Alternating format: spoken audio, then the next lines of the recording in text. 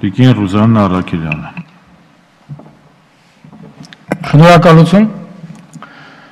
Այսօրվա ամբողջ ինտրիգի մեղավորը Հայաստանի Հանրապետության վարչապետ Նիկոլ Փաշինյանն է, ով Երևանի ավականու նախընտրական քարոզարշավի ընթացքում մի գլուխ կոտրուկ առաջ քաշեց հետևյալ երկու հայտարարություններով,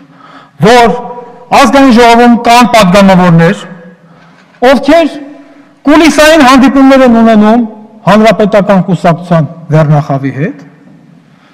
փորձում են սեփական հարցեր լուծել։ Սրանով նա փաստորեն կասկածի մեջ գցեց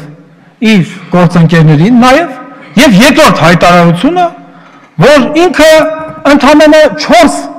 հավատարիմ մարդ ուներ վարչապետի պաշտոնին հավակնելիս, որից մեկը ինքն էր։ Հիմա այս երկու հայտարարությունները ամենաառաջինը իրանք իրենց թիրախավորել են իր խմբակցության անդամները եւ մեկը մեկին հերթ չեն տալիս որպեսի փորձեն ցույց տալ թե ով են այն երեքը ամեն մեկ ուզում է ցույց տալ որ ինքը այն մյուս երեքի մեջ է մոռանալով որ ես երբեք չեմ ուզեցել անվանական քննադատություններ հնչեցնել իմ գործընկերների հասցեին բայց այսօր ստիպված եմ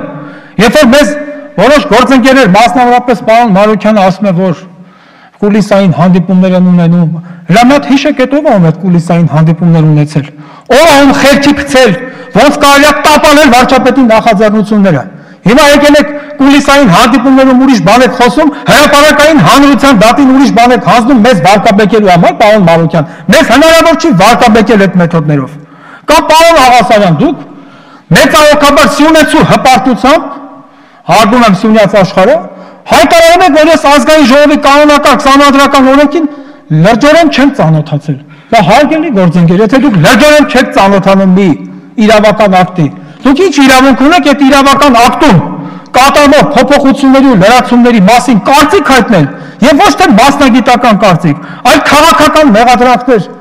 զետեղել թե իբր մենք այսինչ այսինչ անի հետ ենք երկրորդ նախագահի հետ ենք սա ի՞նչ է նշանակում իսկ իրականում ինտրիգը թույլատնելու համար ասեմ ոչ մի քաղաքական շարժարիչ չկա բավական է երբ որ հատկապես մասնագիտությամբ իրավաբան պատգամավորները օրենսդրությունը թողնեն եւ զբաղվեն քաղաքական բաղտակ հուշակությամբ իրականում խնդիրը եղել է հետեւյալը որպեսի ցանկացած պետական կառույց կարողանա արդյունավետ գործել մենք պատգամավորներս առաջին հերթին պարտավոր ենք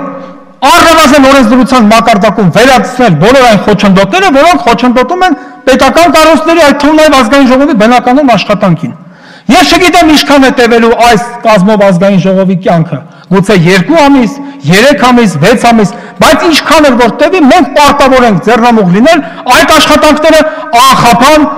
իրականացնելու հնարավորություն ընձեռող օրենսդրության օրենսդրություն ստեղծելու միջոցով։ Կներեք, որ տեքստը չկարդացի, այլ բանավոր արտահայտվեցի։ Շնորհակալ եմ ուշադրության համար։ Շնորհակալություն։